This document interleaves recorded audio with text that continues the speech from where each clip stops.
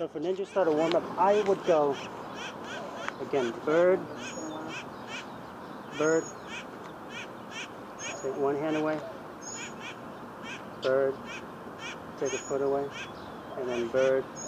Take a hand away and a foot away. Yeah, so opposites.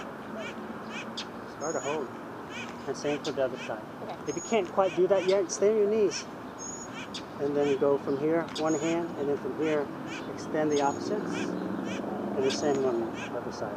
And then slowly work up to that. But your ability to do that on the ground is really key so that you feel solid when you're flying on Sammy, So it, won't feel like you're just being thrown around. You're actually controlling, how helping participate in that dance to where you feel like you're giving uh, in that partnership too. It'll make it'll make um, Sammy's job a lot easier. She'll feel like she can actually control you because you're rigid versus just, just flopping around.